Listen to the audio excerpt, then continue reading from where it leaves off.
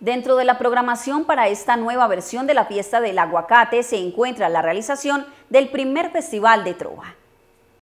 Este festival viene siendo promovido por el mismo grupo de repentistas participante. Lo que queremos es hacerle llamado a todos los comerciantes y a todas las empresas que quieran vincular con el evento, que nos quieran apoyar y nos quieran colaborar. Eh, les quedaremos muy agradecidos porque la verdad que esto va a ser un magno evento. Estamos invitando también a toda la comunidad, a todas las veredas, a todos los municipios que, quieran venir a, estar en el festival, apoyar los trovadores, porque la verdad que vamos a mostrar, estamos mostrando la cultura que hay en Sonsón, lo que tenemos acá en el municipio. La verdad que ha habido muy poca oportunidad para nosotros los trovadores de darnos a conocer a nivel municipal y a nivel nacional.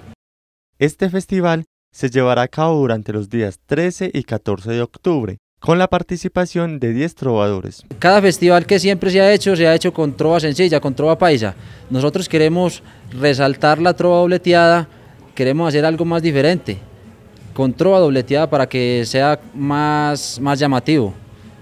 Eh, la temática va a ser, vamos a, vamos a hacer una tanda tipo 7 de la noche, la, la tanda de tema libre la, tanda de tema impuesto va a ser tipo 8 9 de la noche, después de que pase otro artista. Luego ya se sacarían de ahí. Cuatro trovadores se quedan en el camino y seis trovadores irían a la final para el próximo domingo, que sería la gran final del Festival de la Trova Boleteada.